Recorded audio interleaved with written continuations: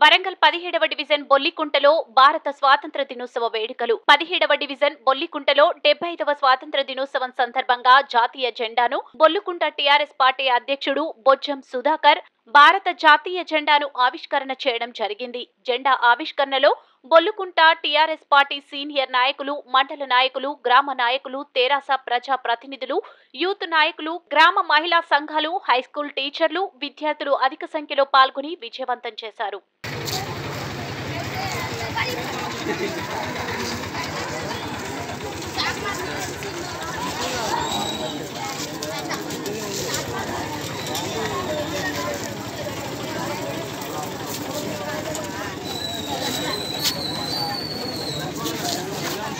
Thank you.